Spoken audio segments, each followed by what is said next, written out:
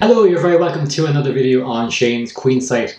Um, today we are doing a song from A Night at the Opera. We are going to be covering the piano tutorial for lazing on a Sunday afternoon. So this is a bit of a tricky intro, but after that the chords, although they're complex, uh, there's nothing unusual within those.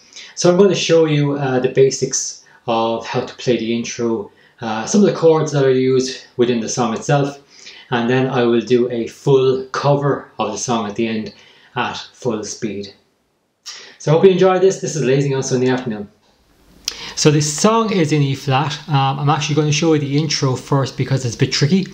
And from that point on, I will play the song slowly, uh, slower than the album version. And at the very end of this video, stay tuned, there's a full cover at the actual speed it played on the album. So the intro first, it's in E flat all you're doing on the basis and so on. So let's take a look at this and I'll show you the run of notes and from that point on then we'll keep going uh, slowly and then at the very end we'll have the full cover.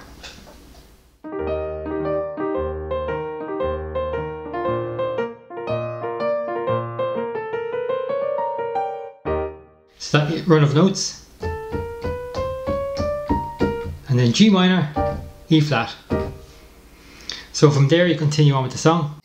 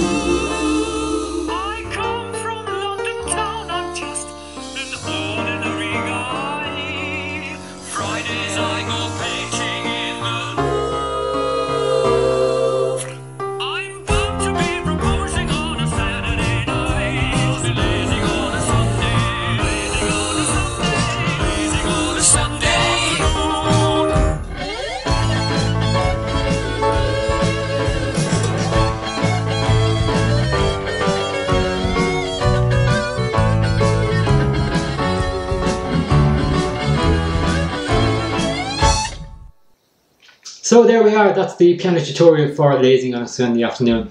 If you've liked that, please do leave a comment below and if you want to see any other Queen songs done for a piano tutorial, please do leave a comment below.